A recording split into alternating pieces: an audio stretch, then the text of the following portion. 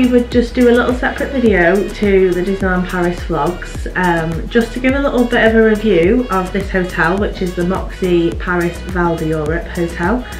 Um, we've stayed here now for two nights. This is our final night, and we booked it for three nights, specifically for a Disneyland Paris trip. Um, and I just wanted to do this video because when we was looking at booking it, um, I checked YouTube for other people's reviews and stuff, and there is next to nothing on YouTube specifically for this hotel. And if there is anything, it's in, I'm assuming French, but it could be another language. There's nothing in English anyway. There's no British uh, travel reviews of this hotel. Mm. So I thought we would do a little one.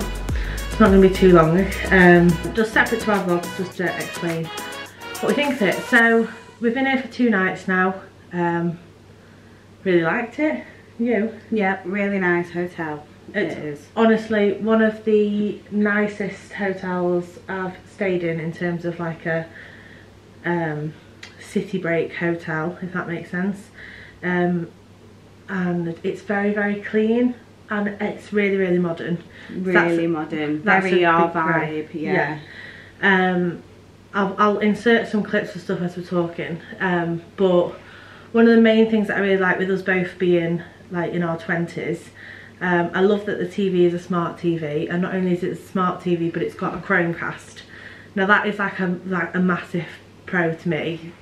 To you it might mean nothing, but it also might be like a big deal, like it is for us. Yeah. Um, it's got a Chromecast, so the past two nights we have got in bed and connected our own Netflix or Disney Plus to the TV and just watched whatever we've wanted to watch. We are the type of people though who watch TV in bed. Yeah, we so are. Like So we had it on TV on to yeah. go to sleep. We get, yeah, we have the TV on to go to sleep, which I know other people are like that, but then other people need complete silence, don't they? But if you are like TV people when you go to bed, then yeah, really good TV. Um, with It's it being good smart size TV. as well. It is a good size. Um, and the the vibe of the room at night time, like it's not too bright. That sounds Yeah. really random, but it's not too bright. Like it doesn't then wake you up because of how bright it is, but it Mm. didn't for us anyway. Um, yeah, so that's a massive plus. And another massive plus is that there is loads of plug sockets, not just plug sockets, but USBs, and it's the normal USB and the USB-C, is that what it's called? Yeah.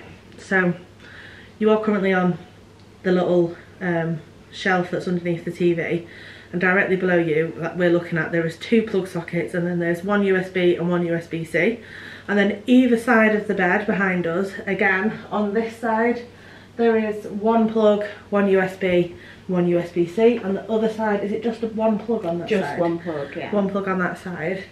There is by the mirror and hanging space area, there is a random plug socket in the middle of the wall. And by the door on the way in, there is the plug socket as well. So that's what one, There's one in the bathroom as well. three, four, five, six, six plug sockets in one room. Now if you were staying at Disney, specifically Sequoia Lodge, there's two. one under the telly and one by the door. Who wants who wants it by I mean I know this one's got one by the door, but like that's kind of like an extra one. Like that's the of one of the main plug sockets by the door. I, it, I find it mind blowing when hotels these days don't have plug sockets by the bed Yeah. because Pete obviously it's because that hotel's a bit old but yeah you would have thought they would have been invested um, so yeah massive bonus plug sockets everywhere. Can't comment on the breakfast because we haven't had it. We haven't had it, we didn't pay for it. We haven't wanted to try it but downstairs the main lobby area is all kind of in one. There's no like separate dining locations from what it? we've seen. Um, I'm going to film it in the morning so it will have been shown at some point in this video. Um, so from when we've been leaving in the morning the breakfast is in the same area as the bar. The bar is also the check-in desk. Um, so literally everything is all in the same room but I will show you a clip of me talking now. Um, you literally check in at the bar so it's like a bar slash check-in area or check-out area. There's loads of tables and whatnot. Um, the breakfast looks good but we did like I said we haven't tried it so I can't really comment. Um, and in the evening you can get like takeaway pizza which we haven't tried but I've seen loads of people Yeah. eating it and it looks really nice It does look good. it looks like proper like hand stretched Um, Pizza like yeah, like proper like like Italian looking pizza, not in France. not your Domino's. Um, yeah, not like your Domino's. not not like no. yeah a greasy takeaway pizza. It's like a nice looking pizza. If that makes sense. But yeah, we haven't actually tried it, but from what we've seen, it looks really good. Um, the hotel feels quite secure as well. The you can't access any of the stairways or the lifts without your room key. You call the lift and when you get in you have to scan your room card to be able to press a button to go anywhere. Same with all the staircases are behind a door and to be able to unlock the door to Yeah. get to the staircase you've got to scan your room key which is quite nice as well. Um, we've both semi-used the shower but we haven't used the shower to like do a hair wash.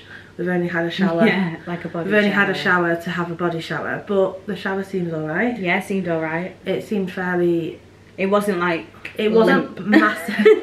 it wasn't massively powerful from what I can remember last night. Oh no, I you see, I thought it was quite powerful. It wasn't weak though. We see, I like super super powerful, like water pressure. Yeah.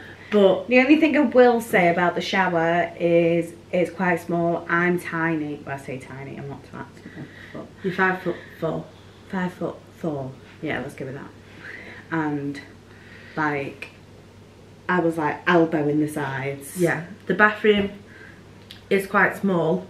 I've seen people on other reviews moaning that the bathroom is tiny, and yes, it is tiny to an extent. I mean, I did stand up from the toilet yesterday as I was pulling my leggings up, went boom with my elbow on the door because Yeah. the door was closed. Um, so it is tiny. And It is tiny. However, I think for Adults, it's fine. But yeah, and I also think that given the kind of vibe of this hotel, it's young people who are just using it as a base. Yeah, So you wouldn't want a full. Well, Full we, we bathroom. wouldn't want a full family bathroom. yeah, but we've seen a lot of families staying here. There, there might be. and if, what do you mean? There might what? be family bathroom rooms. Well, I don't know, but in our room, we've just got a double room. Um, the bathroom's not very big, and I think if you have got children, it'd be a struggle, you know, to try and help them in the shower and whatnot. Yeah. Um, and there's no bath, it's just a shower. But like Becky says, there could be family rooms, but we've not got one. We've just got a double room. um, my now initially, so I've read on a review before we came that someone said the the hotel is very set up for millennials, and that literally from us arriving, I'm like, yeah, you're right. With everything from the smart TV to all the plug sockets to how modern it is, to the vibe of downstairs. Like the vibe downstairs is very um, Millennial. millennial. Yeah. It's- millennial and yeah. like yeah, It's chill, but it's got a bit of a vibe to yeah. it. But I have also seen people here with children, and they don't seem out of place. Yeah. If that makes sense, like there's no, there's no one looking at the people with the kids like what are they doing here. If that makes sense, everyone's, you know, it's a nice vibe. Um, but my only con that I really don't like is that there is zero storage.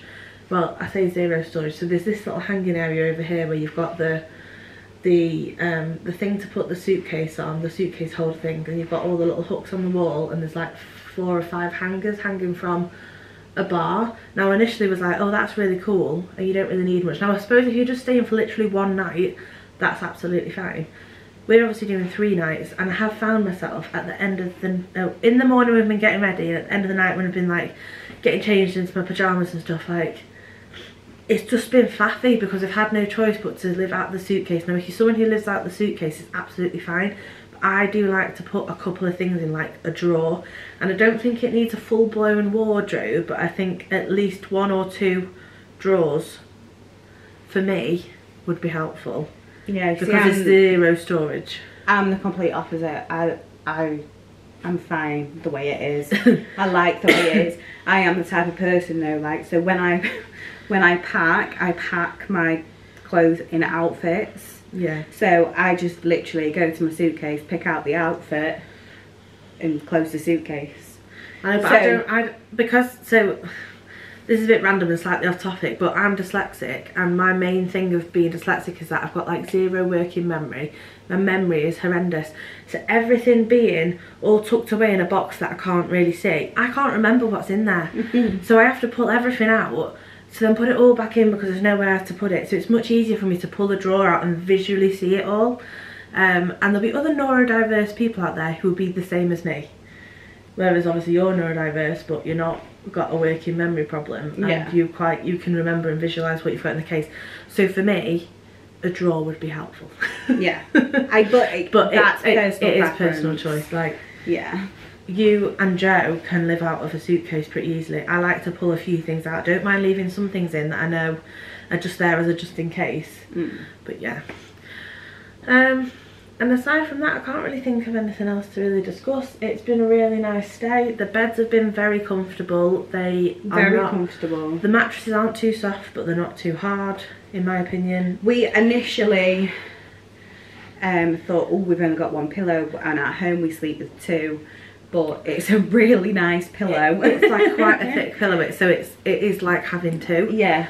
um, and it it hasn't been a problem for me. I've slept pretty similar to how I sleep at home, which is pretty good going because usually I don't sleep very well in hotels. Regardless of how good the bed Mm. is or isn't, I don't really tend to sleep very well in hotels. Um, and I've slept pretty well.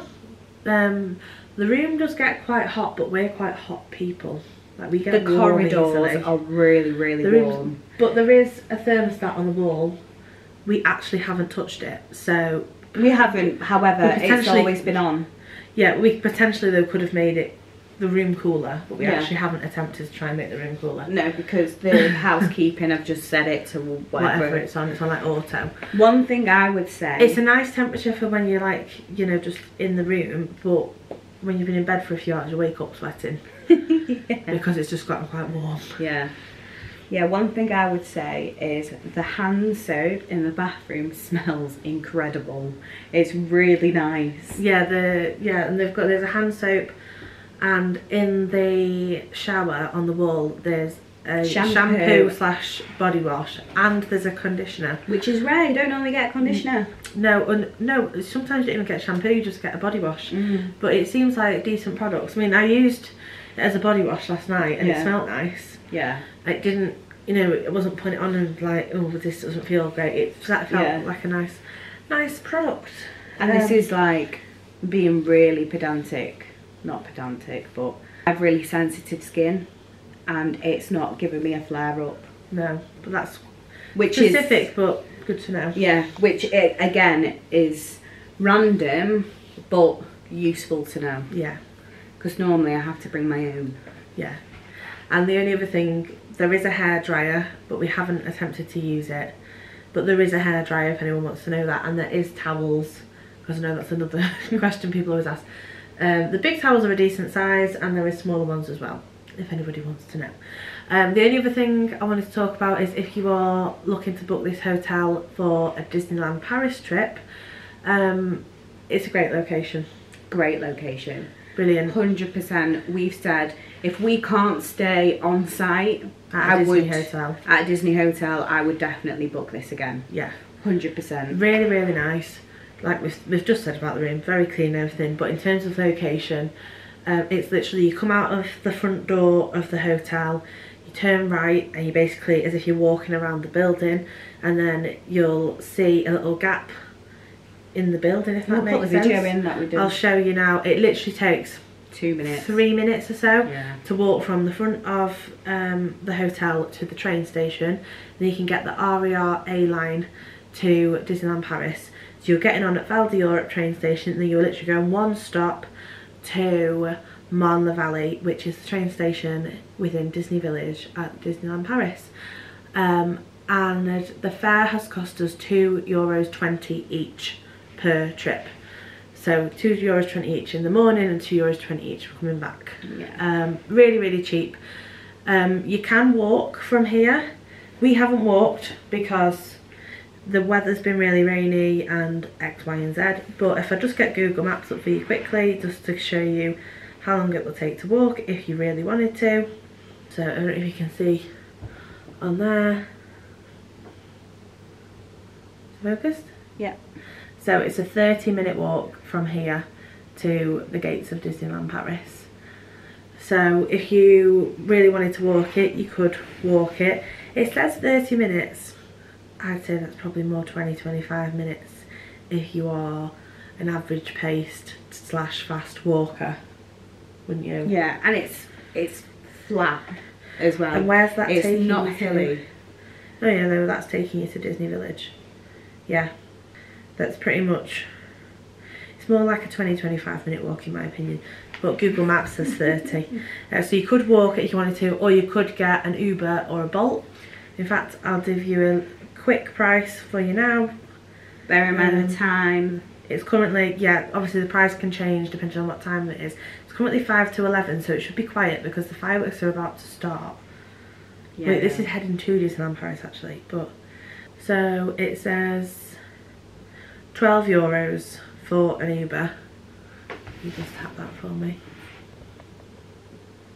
Yeah, that's on Uber. That's 12 euros if you want to get a taxi.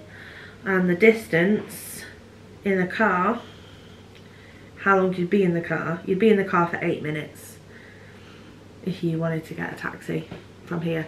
So you get Uber or you could get Bolt. yeah. Um, yeah, but literally getting the train was really, really simple. Like I say, three or four minute walk, not even four minutes, it's a good three minute walk from here to the train station. The longest thing has been queuing to get a ticket for Yeah, the train. There's always been a queue. Yeah. But then once you've got your ticket and you get down on the platform, the trains are literally every five to ten minutes Yeah. and that one stop away is about from you getting on the train at Val d'Europe to you getting up at Marne Valley, you're talking about four or five minutes on the train. Yeah. And then you walk out and you are there. Literally. You, you've got the Disney Village on your left and you've got the Disneyland Hotel on your right and the studios right in front of you. You're there. So that's probably the quickest way to get there and back. But I will say that us coming back last night, we left straight after the fireworks and it was very, very busy.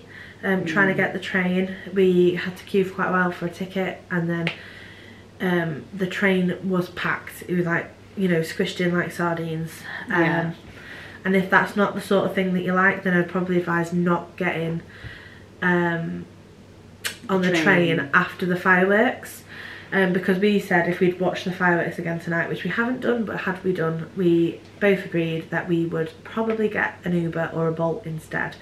And top tip for if you are leaving the park at a busy time, like after the fireworks, um, you're supposed to kind of go out of the gates that you're next to Five Guys slash Vapiano's um, and get your Ubers um, from there. There's like a little roundabout and a bus stop and stuff, and it's where like the park car park is.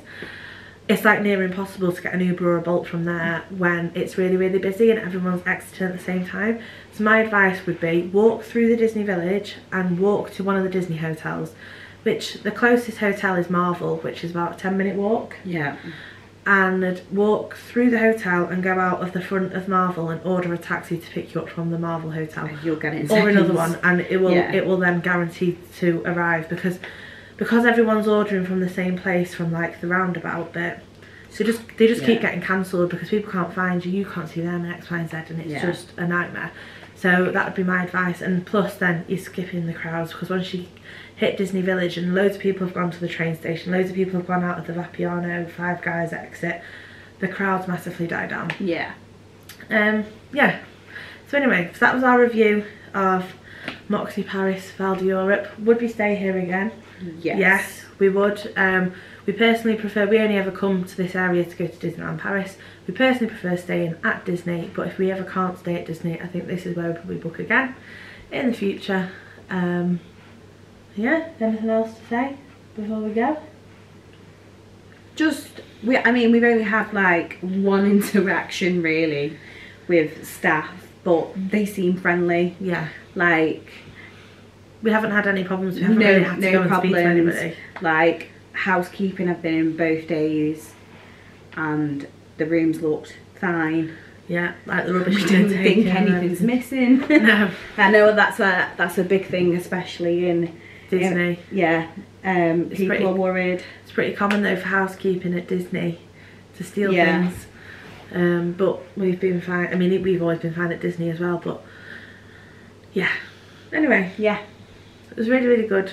Um, we highly recommend it. And if anybody has any questions at all about the hotel, leave us a comment down below. Or if you want to message us privately, follow us over on Instagram. We are at Daily Disney Girls or it'll be left down below, linked in the description box. And feel free to message us on there if you've got any questions. Um, yeah, highly recommend. And um, if anybody is interested in, um, who has watched this video and has not watched any of our vlogs before, um, if you're interested in our Disneyland Paris series and seeing a little bit more of the room, um, feel free to watch our Disneyland Paris vlog series. Thank you very much for watching this video. Please give it a thumbs up if you enjoyed it. Like I say, comment down below if you've got any more comments or anything or questions and we shall see you next time. Bye!